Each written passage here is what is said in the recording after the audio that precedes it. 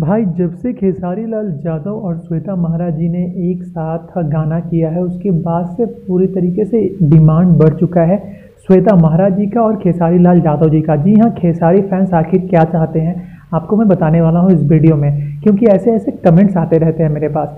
नमस्कार दोस्तों, आप देख रहे हैं आपका अपना चैनल दया शंकर ओझा। फिर से आपका भाई हाजिर है एक नया वीडियो लेकर, लेकिन उससे पहले आपका भाई रिक्वेस्ट करेगा, चैनल से जुड़ जाना, चैनल को सब्सक्राइब कर देना, क्योंकि आपका भाई हमेशा ही भोजपुरी में जोड़ने की बातें करता है, तोड़ने की बातें बिल्कुल नहीं करता है। जी हाँ जब से परदेशिया में श्वेता महाराज जी ने काम किया है खेसारी जी के साथ, उसके बाद से लगातार एक ही डिमांड है कि खेसारी लाल यादव श्वेता महाराज जी का गाना कब आएगा। बहुत लोगों को ऐसा लगता है कि जो अभी सारे गामा हम भोजपुरी पे गाना आने वाला है, उसमें श्वेता महाराज जी है, लेकिन एग्जैक्टली में श्वेता महाराज जी नहीं है, एक नई हीरोइन है आकांक्षा दुबे जी। लेकिन आपको बता दूँ, बहुत जल्द गाना आने वाला है, जैसे ही गाना आता है, अपडेट लेकर आएँगे। इस वीडियो को लाइक कीजिए।